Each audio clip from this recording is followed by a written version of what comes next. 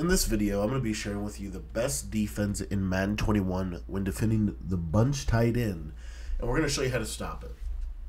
What's up guys, my name is Cody and I want to thank you for taking the time to watch this video.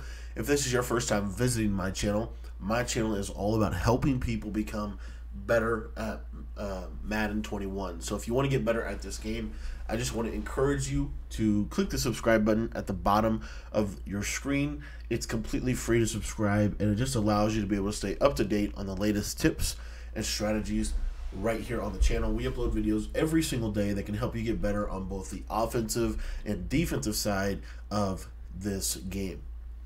Now in this video, we're specifically talking about our nickel 335 wide defense. We're going to be going over some specific defenses. We're actually going to be talking about the cover 4 show 2 in this video and how to use this to really um, do a decent job at stopping one of the best offenses in Madden 21 in the bunch tight end. So if you want to get my entire 335 wide defensive guide, I am going to be leaving a link in the description for you. Um, that way you can get access to all of the videos um, or all of the uh, schematics behind it, the entire system, the entire guide. And again, if you want to get that defensive guide, you can get that for just uh, $15 in the description.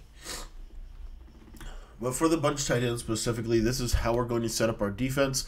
Um, you're going to see here we have auto flip on. We have auto alignment set to default. Ball in air defense to play receiver. Option defense on conservative. Flats are on 30. Curl flats are on 10. And hook curls are on 5. This is kind of the starting point for how we're going to want to play defense. Now we want to come out in the cover 4 drop. And we're going to audible into the 3-3-5 wide cover 4 show 2. It's going to look just like this right here. The first adjustment we're going to do is we're going to shift our defensive line to the right side. We're always going to blitz our user kind of right in this little pocket right here. We want the blitz angle to be coming down into the center. We don't want that right there. We want it to be right like that. And then we're going to put our defensive end on the right, which is over to the which is um, over the top of the tight end. We're going to put him on a bluff blitz um, so that he goes onto a three rack hook just like this right here.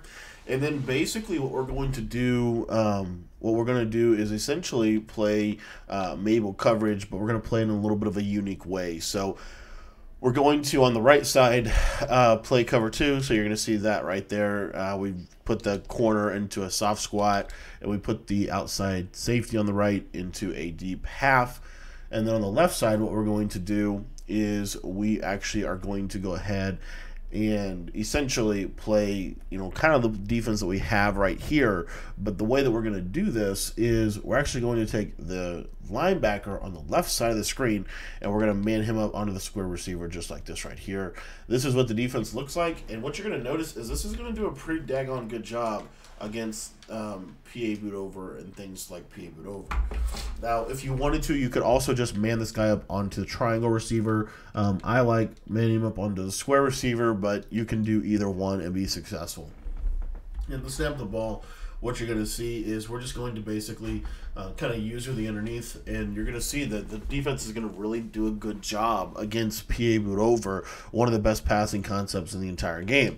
Now, the next thing that the, the uh, bunch tight end is going to try to do is they're going to try to do something like running a play um, like mesh. Okay, so they're going to try to run something like this. Um, this is going to do a decent job against that as well. So, um, again, this is why we like to man up the square receiver on this play. But as you can see, we've got the cover two set up. And the snap of the ball, um, you're going to see here that the square receiver is really not able to be, you're, you're really not going to hit that as you can see, we're able to able to do a pretty doggone good job at stopping that. Now, if you want to stop, if you want to stop the play, um,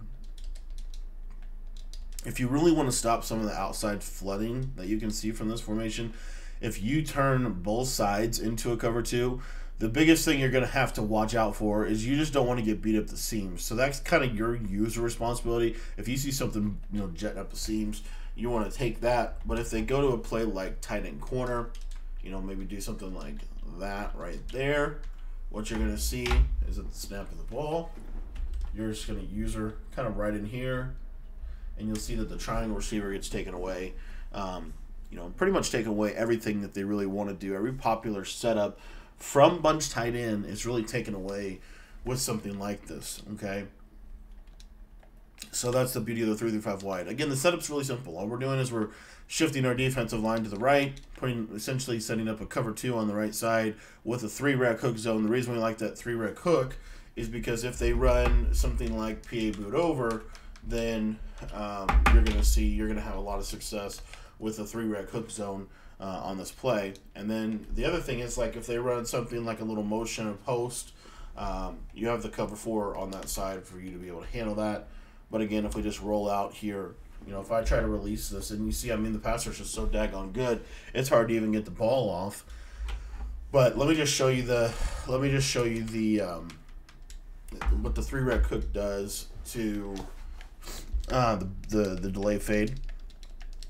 So again, I'm just gonna be like right in here, but I'm just for the purpose of this video, I'm just gonna, you know, do something like this maybe, and kind of spy these guys off, just so you can see it. So again, delay fade, and I'm just gonna roll out of the pocket, roll out of the pocket, and right there, my guy. I don't know why my guy fell down. He he doesn't normally do that. He'll normally sit right on it. It might have been. I might make. You need to make sure that you pass commit as well when you're playing this formation. Um, it's actually super super important. But again, we'll just kind of set this up just like so, and we'll leave this guy. We'll leave these guys blitzing. But we really want to pass commit and you'll see right here. See how he'll kind of stay on the tight end. See that right there?